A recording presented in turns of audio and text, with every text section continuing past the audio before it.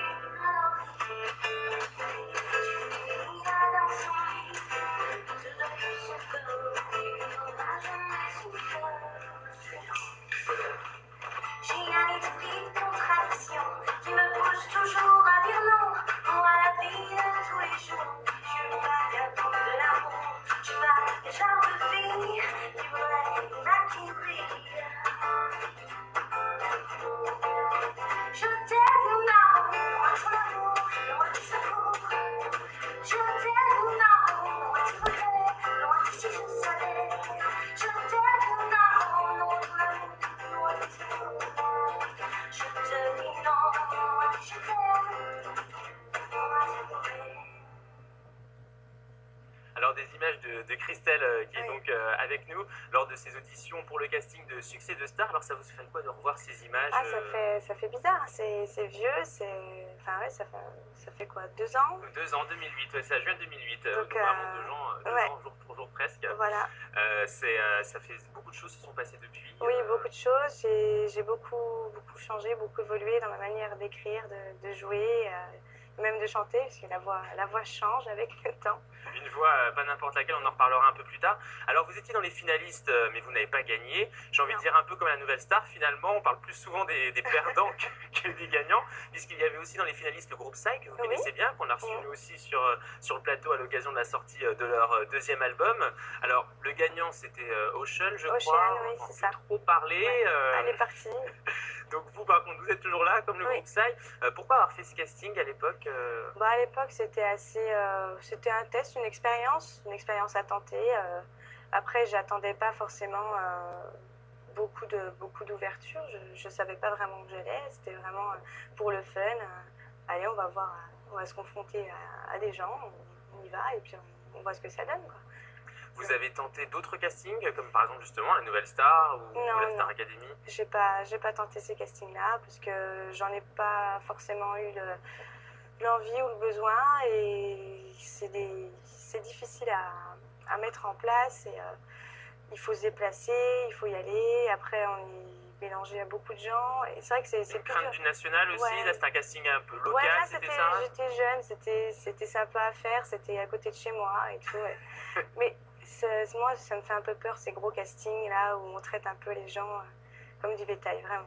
Je Ouais, pense. là c'était plus confidentiel, Ouais. donc peut-être plus l'occasion de d'essayer. Voilà. Là, vous avez eu l'occasion suite à, à ce casting de pouvoir interpréter quelques-unes de vos Voilà, chansons. de mes au- au compositions. Et je sais euh, très bien que dans ces castings-là, on n'interprète pas ces compositions, on nous demande de faire des reprises d'une telle manière. Et, euh, et moi, j'aime pas être cantonnée à même, système. Alors que là, Tête des Feuillants, déjà une des, euh, c'était une Oui. des scènes. C'était d'ailleurs une de vos premières scènes, ça faisait longtemps que vous faisiez de la scène Non, en fait, non, euh je, je faisais déjà de la scène avant. J'ai déjà fait euh, quelques scènes dans des bars, quelques scènes dans des clubs med. euh, Ça- commence à marcher pour vous, euh, car on, a, on avait été déjà nous marqués par votre présence, par votre timbre, qu'on a pu déjà un petit peu entendre euh, là dans les extraits. Votre maturité aussi des textes, vraiment vous écrivez toute seule et vous aviez Mhm. par exemple à l'époque que 20 ans, aujourd'hui vous en avez 22. Oui. Vous écrivez depuis combien de temps? C'est naturellement Ah, j'ai écrit depuis j'ai euh, 13, 14 ans, quoi, quand on affronte les premières expériences de la vie, qu'on a besoin de, de mettre sur du papier son sentiment, son, son ressenti, son, son environnement. Qui est, qui- moi, mon, environnement m'influence beaucoup. J'ai- J'aime bien avoir euh, l'œil observateur sur euh, beaucoup de choses et puis après les mettre euh, en écrit et en musique surtout. Alors au départ vous étiez seul, aujourd'hui vous êtes accompagné donc de musiciens sur scène. Mhm. Euh, justement, la scène, vous avez dit dans le bien public entre autres, la scène c'est pas facile à gérer.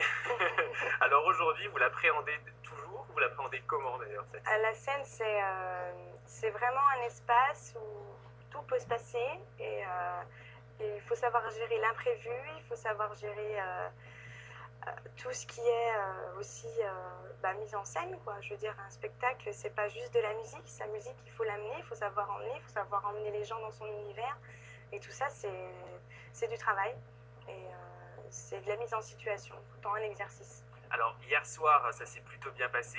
Euh, voilà, cette place d'Arcy, la fête de la musique. Euh, on regarde tout de suite quelques images.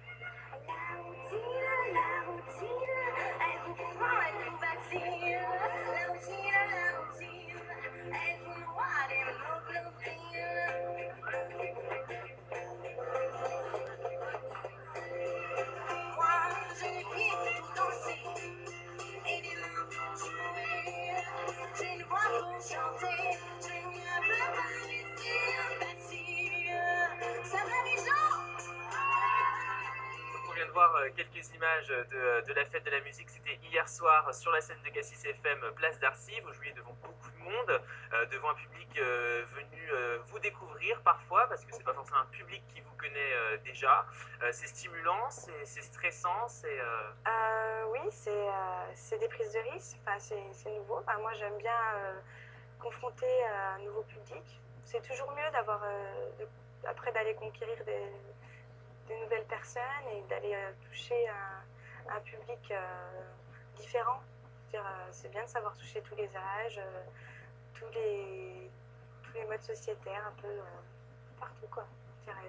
Et c'est vrai que la rue, il n'y a rien de mieux que la rue pour, pour se confronter. Alors des morceaux interprétés donc euh, en live, des morceaux d'un album en préparation. D'ailleurs, ça fait un Mhm. petit temps, vous le préparez maintenant. Pendant un Oui. moment, on avait entendu une sortie en décembre dernier. Oui, ça oui. été fait. Vous c'est sur, euh, très, très. On reporte beaucoup parce qu'en fait, je travaille avec un, un monsieur qui s'appelle Jérôme Falson qui a monté un projet de, de studio et qui a mis. Donc, le studio a mis du temps à, à être fini parce que c'était des gros travaux qu'il a mis en place. Il a fait donc ce studio à Créancet.